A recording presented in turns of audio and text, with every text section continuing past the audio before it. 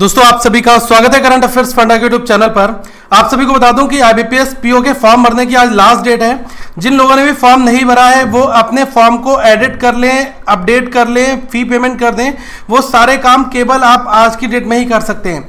और एक चीज़ और ध्यान रखना कि फॉर्म भरने के बाद अपने फॉर्म को डाउनलोड करके ज़रूर रख लेना पीडीएफ फॉर्मेट में, क्योंकि जब आपका सिलेक्शन हो जाता है तो उस समय पर आपको फॉर्म की ज़रूरत पड़ती है। वैसे लिंक तब भी ओपन कर दिया जाता है, लेकिन अभी से ही आप इसको सेव कर सकते हैं। एक चीज़ मैं आपको और बता दूँ कि जिन लोगों ने फॉर्म ऑलरेडी भर दिया है, या फिर तैयारी कर रहे हैं।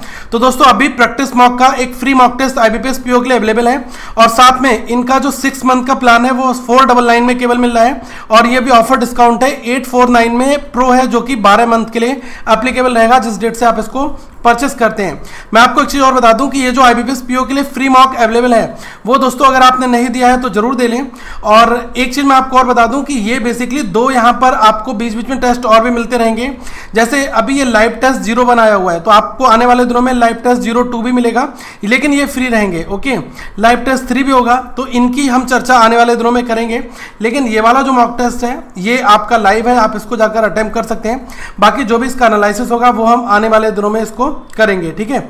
एक चीज़ मैं आपको और यहाँ पर बताना चाहूँगा कि बेसिकली ये जो राइट ना हमारा टाइम चल रहा है, इसमें हमें अपने चीज़ों को किस तरीके से ऑर्गेनाइज करना है?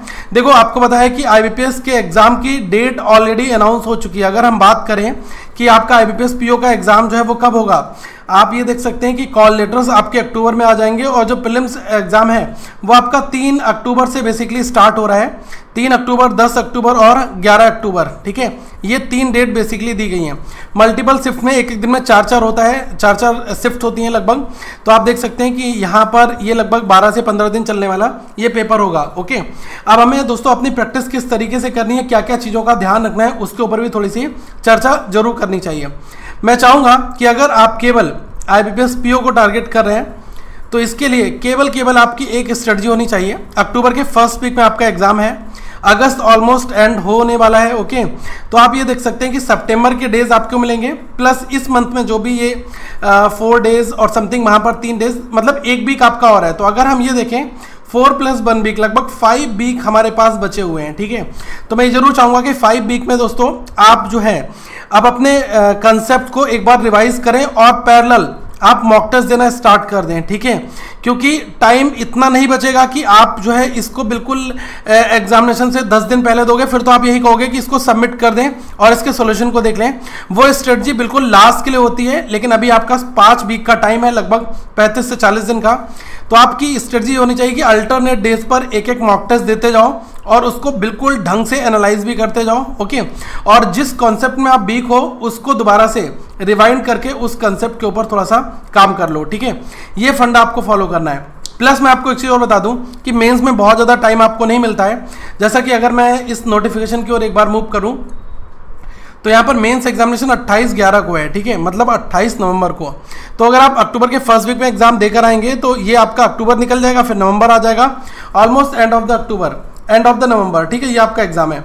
अब आप इतना देख लें कि मुझे ऐसा लग रहा है कि प्रिलिम्स के एग्ज़ाम को देने के बाद लगभग आपके पास में जो दिन बचेंगे, वो नियर अबाउट हो सकते हैं, पचास दिन भी, ठीक है, और पचपन दिन भी मतलब इसी के आसपास में, ठीक है। तो आप ये देख सकते हैं कि पौने दो महीने का टाइम लगभग हमें मिल जाता है वहाँ पर।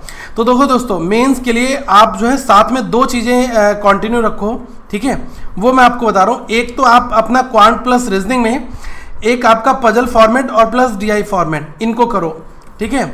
और एक सेगमेंट में ऐसा बता रहा हूँ, जिसको आप प्रिलिम्स में भी करोगे, आपका मेंस में भी आएगा। वो है आपका अर्थमेटिक का टॉपिक ठीक है? तो अरिथमेटिक को ढंग से कर लेना, क्योंकि प्री में दस नंबर के आते हैं ओके और जब मेंस होता है तो वहाँ पर भी दोस्तों ये अपना वेटेज रखते हैं, ठीक है?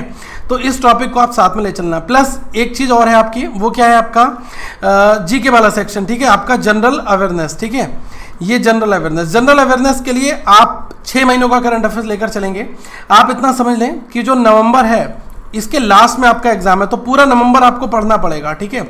अब नवंबर से पहले आप देख लें कि जो आपका हो गया सितंबर, अक्टूबर और अगस्त, ठीक है? ये चार महीने आपके हो गए और इधर पर जून और जुलाई, ठीक है? तो आप देख लें कि जून और जुलाई, ये दो पुराने महीने, अगस्त करंट चल रहा है और साथ में अगस्त के करंट अफेयर्स तो हमने भी करवाए हैं। आप हमारे टॉप 300 के आसपास में आपको इससे ज़्यादा ही क्वेश्चन मिलेंगे, लगभग 300 से 500 क्वेश्चन हमने करवा रखे हैं अभी तक, ठीक है? तो आप प्लेलिस्ट नीचे दे दूँगा, आप उसको ज़रूर देख लें। तो आप अगस्त को लेकर चलें और सितंबर, अक्टूबर, नवंबर, दिसंबर, ठीक है?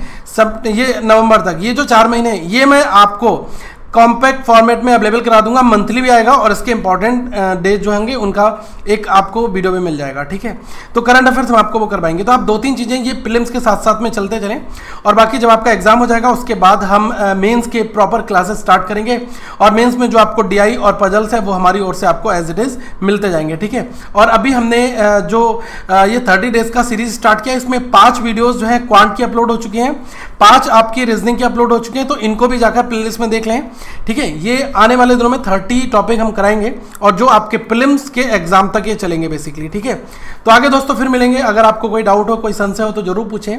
और अपनी हाँ तैयारी करते रहें, क्योंकि समय ऑलमोस्ट काफ़ी कम है, और जैसा अभी 12 सितंबर को आप देख सकते हैं कि आपका आरआरबी का एग्ज़ाम होगा, ठीक है? बाकी इसी एग्ज़ाम के बाद में आपका फिर आई पीओ है। तो जैसा भी होता है, आप अपनी तैयारी करते रहें। और हाँ मैंने आपको बताया कि आप फ्री मॉक टेस्ट देना बिल्कुल मत बोलना इसका एनालिसिस हम आगे डिस्कस कर लेंगे ओके और अगर आपको ये मॉक टेस्ट अच्छा लगता है तो आप ये जो सिक्स मंथ और ये जो ट्वेल्व मंथ वाला पैकेज है, आप ये लेना चाहें, ले सकते हैं, आपके ऊपर ऑप्शनल है। सो थैंक यू गाइज़ एक छोटा सा इंटीमेशन था। फॉर्म भर दो सबसे पहले, कोई डाउट आ रहा हो तो नीचे पूछ लो। अगली वीडियो में फिर मिलेंगे so thank you have a good day all of you बन सके